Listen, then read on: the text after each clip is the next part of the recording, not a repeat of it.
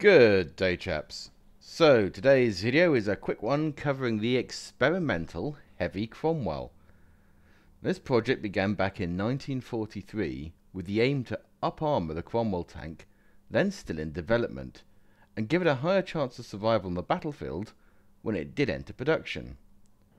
The Cromwell itself was the subject of much controversy at this time, and it was a major focusing point in the Great Tank Scandal publication in 1943. No, not that one, the original one. It's certainly not unfair to say that at the top end of British tank design, both politically and from a leadership side, it was a bit of a dog's dinner, with constant changes of who was involved and appointments of men that had no background in the subject, or were appointed based on political connections over any capability. And while there were good apples amongst the bad, these had often had their voices drowned out or were simply ignored until well beyond the point that it would have been relevant. And it's these decisions, or lack of them, that affected everything from what engine, armour, firepower, and how the tanks would be made. The development of Cromwell fell well and truly into this remit. The vehicle had been proposed in 1940 at its earliest stages, and certainly by July 1941 the government had been informed of a new tank, described as a tank that would surpass in armour, armament, and power anything we've so far produced. And while this might sound a little bold, it wasn't too far off. Certainly by 1941 it was superior to any German tank, and even by mid 1942, when it was planned to go into service, it was very competitive to the Panzer IV F2, having marginally better armour, a gun that was capable for the time, and a far greater turn of speed and better overall profile. And yet the Cromwell did not see action until 1944, by which point, other than its good mobility, it was relatively undergunned, and in terms of anti-tank capability, was a step backwards, although it did have a more useful high explosive round. The armour for 1944 was also somewhat lacklustre and while the protection was improved on some later models to be the equal of its German counter, it wasn't really until the Comet and the post-war Centurion that the status quo closed to an appreciable equivalence. A similar story could be said for the Sherman, however that was at least balanced by its adaptability and its vast production capability, and the Americans were much more cohesive on the whole to getting their shit sorted out than the British. That's not to say that the Cromwell is a bad tank. It's not. But it certainly had its fair share of flaws by the time it saw action, and these were issues that could have been addressed much, much sooner. But the British were also in a difficult position, having learned a lesson the hard way about rushing tanks off the drawing board, notably with vehicles like the Churchill, which had arguably the lowest reliability at the outset, being in some cases down to just 50 miles before a complete overhaul, and the Crusader, which vanished very quickly post Africa and for very good reasons. Lessons had been learned in this time frame, and now vehicles were to be fully run in, tested, and any teething issues ideally rooted out, which led to longer delays, and thus you get a double-edged sword. You have troops calling for better vehicles and ministers arguing on the sake of the fallen soldiers, while on the other side they're determined to try and put a tank into service that might actually work. Cromwell fell very much into this latter category, but ongoing problems such as what engine stymied this, with Lord Nuffield being particularly belligerent in wanting the woefully outdated Liberty engines, Leylands being unable to make up their minds, switching from one to the other, and then later back again, while only Birmingham Motor and Carriage Works were focused on a sound working platform. Meanwhile, three years of debates raged on whether they should be welded or riveted, which led to outbursts of violence and letters between senior officers threatening to smash each other's faces in. Handbags were being swung, tea was being spilt in the streets, and the biscuits were being trodden into the Axminster, and all of this was actually delaying anything useful being done. During this development, however, there were those that saw that even by 1943, changes would be needed. These were split into roughly several areas engines, suspension, tracks, guns, and so on but today we're going to look at the requirements for the armour improvements. And this primarily came into two areas, how it was made and attempts to up-armour the tank.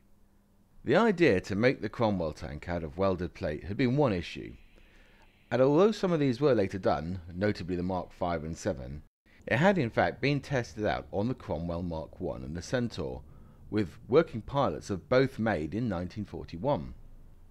The second attempt was to up armour the vehicle. This was carried out by Rolls-Royce in mid-1943 to bring the weight up to 29 tons, and it had an armour layout increasing the hull to 101mm or 4 inches on a Cromwell D hull fitted with a 6 pounder gun. The initial armour had between 1 to 1.5 inch welded plates over the turret front, visor plate and nose. This brought the turret up from 76mm IT80 steel to 101mm on the turret front. The turret itself now being of a single plate rather than the regular dual layer type. The hull front, which was normally 64mm, was up by an inch to 89mm on the far left and 101mm over the remaining two thirds of the visor, and the nose from 57 to 82.4mm with an angle of 20 degrees for an 87mm lower nose plate. These plates were made by Sheffield Steel, likely ESC, and tested at trial X489 on the 21st of June 1943 at the Middlewood Gun Range, Moson Lane, Worrall in Sheffield albeit as loose plates on a steel mock-up nose only. These tests were done with a 6 pounder at around immunity levels, and the armour held up very well, preventing what would have otherwise have been perforations.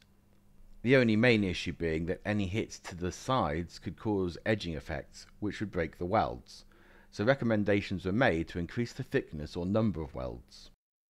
Trials were next carried out at Long Valley Test Track in Aldershot somewhere before the 1st of September 1943, with the vehicle coming in at 29 tons, or about 1 ton over the standard vehicle. However, they already had ballast tested another vehicle up to 31 tons, and so they were fairly confident in most aspects. 174 miles of road running and 110 miles of cross country were done, with speeds of up to 25 miles per hour, or 40 kilometers per hour, recorded at cross country speeds. The only differences recorded, which are not seen in the photographs, and which may have been taken before or after these trials, are the inclusion of large spring canister and S600 shock absorbers to the standard arms rather than the first and second only. Overall, the vehicle passed its tests. No major issues automotively were found. The suspension was adequate, although two road wheels were found to be out by about one sixth of an inch at the end of the runs, and it was noted that these could simply be strengthened, and that there was some concern if brake fade would occur, but none was found. After the trials, it was recorded that the vehicle seemed to perform well with the applique armour, and the inspectorate team recommended this for all future service Cromwells. When the vehicle did finally enter service, however, many didn't have any of this, having only the standard hulls. And although later, as mentioned, some welded Cromwells did come into service with increased armour, most of them came with the stock armour. The sad aspect of this was that although they had demonstrated that Cromwell could easily be up armoured with little or no detriment, they weren't, and other changes taking place in enemy tank and allied ones were not applied when they could have been. However, with that being said, cooler heads were obviously at work, as Comet also begins its design in 1943, and so clearly there were those who saw that the new and yet untried British tank would need to be quickly replaced, entering service just five months after Cromwell, and lasting until the late 1950s, while Cromwell itself was more or less placed into second line service just one year after it finally entered service with the British.